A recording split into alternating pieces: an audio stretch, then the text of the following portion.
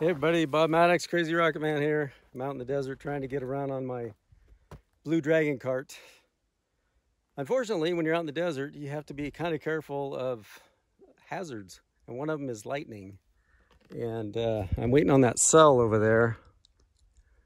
It's only about six miles away. And you really don't want to be in the middle of the desert, the highest point, riding around in a big hunk of metal creating a uh, uh, pretty good magnetic field around it from the engine running. So hopefully that's going to back off. I've only got about 40 minutes before it's too late and the sun will go down. But anyway, it's still a beautiful night out here. As you can see, Cedarville, California. My Dragon cart, Maddox Jets 270 pound thrust valved engine. If you watch me, you, most of what you've been seeing is my uh, valveless engines. This is a valved engine. Has a great big one-way reed valve up in the front. So uh, the valveless engines just blow out the tailpipe and out the front. So you bend them in a C shape so you're getting uh, thrust out of both ends. This one just produces thrust out the back.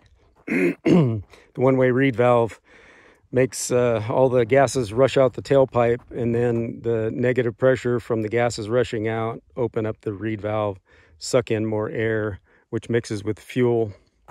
Now if you look at this it looks like those are fuel lines going into the front. Actually they're not. Those are starting air. So starting air from my tank down there i have 120 psi starting air in that just from like a regular air compressor i fill it up and that solenoid um, that's uh, right there in front, right by the battery, opens up, shoots air into the engine. Same time spark comes on.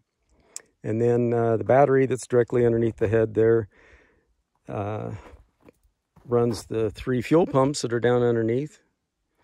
And that gives me about 60 PSI to my fuel nozzles. There's four 30 gallon an hour spray nozzles. They're furnace nozzles that shoot into the engine and they're located inside the venturis right here. They're inside there.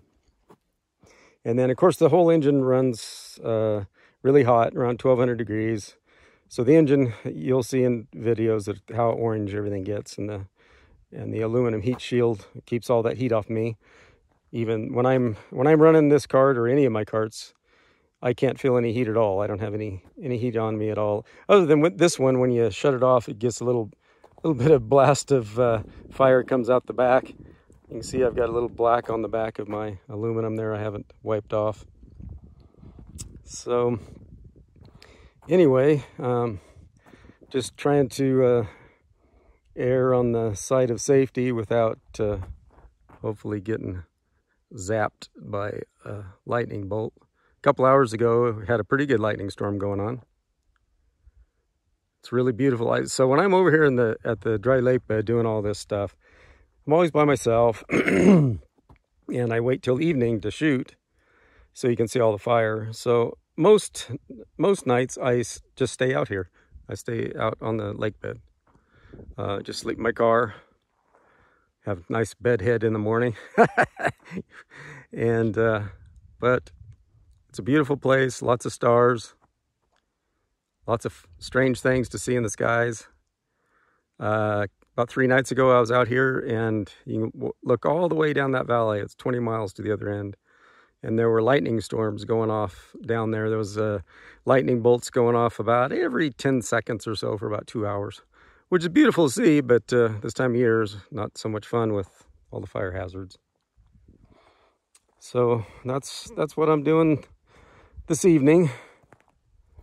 And then I'll be back in the shop uh, building my next project, which uh, I believe is going to be a jet-powered um, mini bike. Got to mix things up a little. Got all kinds of new things coming. So anyway, as usual, thanks for watching. Make sure to like, share, and subscribe. See you next time.